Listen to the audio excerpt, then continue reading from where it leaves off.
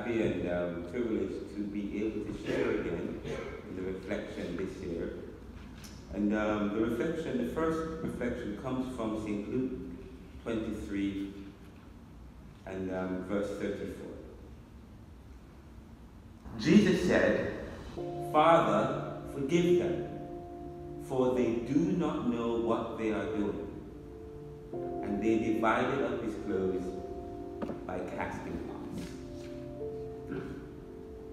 Let the words of my mouth and the meditation of my heart be acceptable in thy sight, O Lord, our strength and our redeemer. Jesus said, Father, forgive them, for they do not know what they have done. Jesus said, Father, forgive. He's on the cross. He's being ridiculed, mocked, lied upon by an angry mob, a crowd of people who seemingly hate him. But for what? What has he done? For he's been kind, loving, compassionate. He's healed the sick, raised the dead, given sight to the blind, fed the hungry. But yet, here he is hanging on a cross, bloodied and brutalized. Nevertheless, Jesus said, Father, forgive them. Have mercy on them. In my pain, I have forgiven them. Will you now, Father, grant them mercy for what they have done? Grant them compassion and benevolence and favor. But why? Why should his father forgive the crucifiers and his accusers? Christ says, For they do not know what they are doing. So, are they crucifiers? Are they irrational? Are they ignorant? Are they unintelligent beings divorced from the evil of their ways? Or does all of this have some futuristic and deeper implication that is unbeknown to them? For they know not what they're doing. In a sense, there's something greater happening here. Amen? Amen. Something greater. They don't even know that their violence is part of a greater plan to save them, to save us, and to unite us. So it's not that the crucifiers don't know what they're doing. They know what they're doing, but they don't know what they're doing. Amen? Because there's an esoteric, a deeper understanding, a deeper experience at work salvation and unity of humanity. Christ was taking our blame and bearing our shame and our pain so we.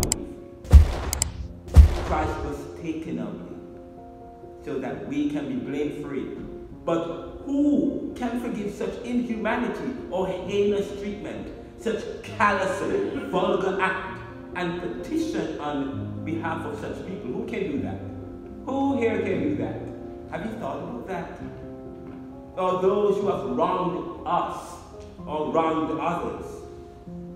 But Jesus can and is every day at the right hand of the Father, petitioning for us, mediating for us.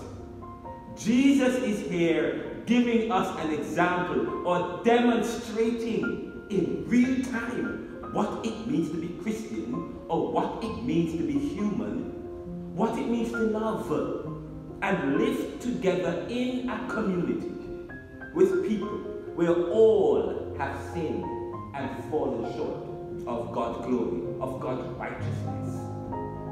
Mercy and forgiveness, even to those whom we believe do not or are or is undeserving of it. And that's the hallmark of reflection today. Mercy and forgiveness, even to those who we believe are undeserving of forgiveness, as he has shown by Christ.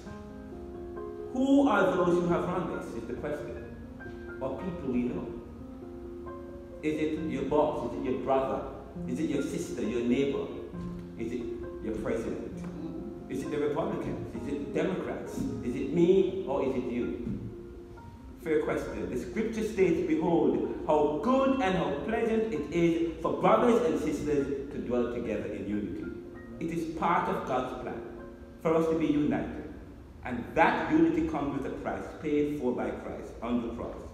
It comes with a personal commitment shown by Christ to show mercy and help others, to experience mercy and forgiveness, interceding and praying for one another as Christ prays for us. Amen. For the word in Scripture, for the word, the word in and among us.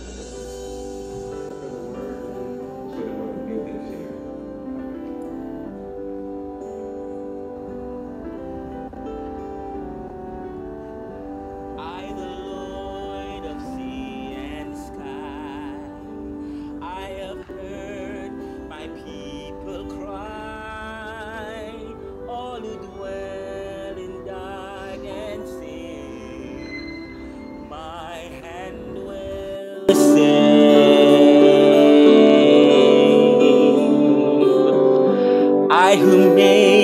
the stars of night, I will make their darkness bright.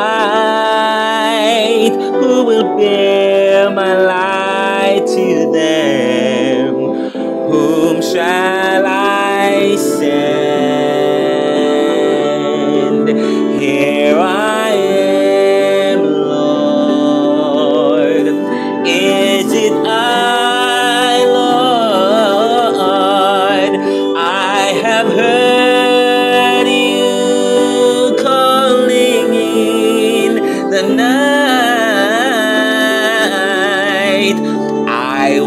Go,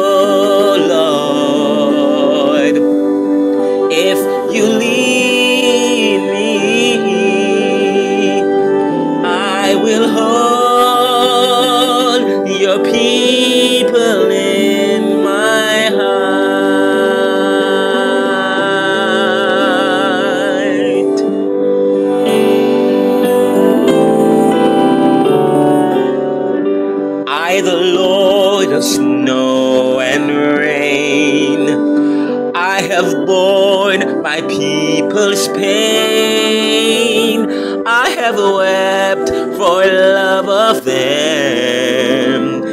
They turn away.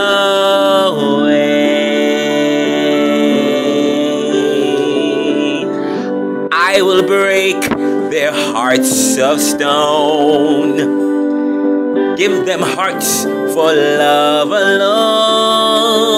I will speak my word to them. Whom shall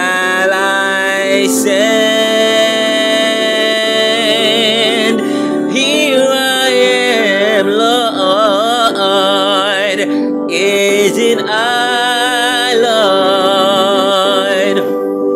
I have heard you calling in the night. I will go, oh Lord, if you lead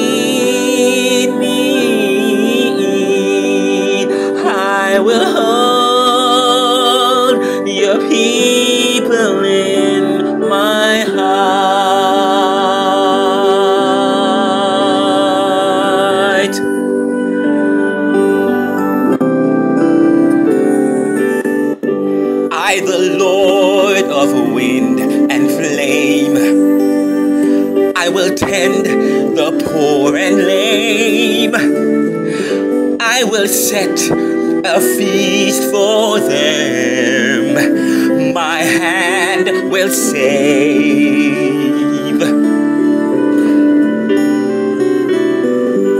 Finest bread I will provide till their hearts be satisfied. I will give my life to them. Whom shall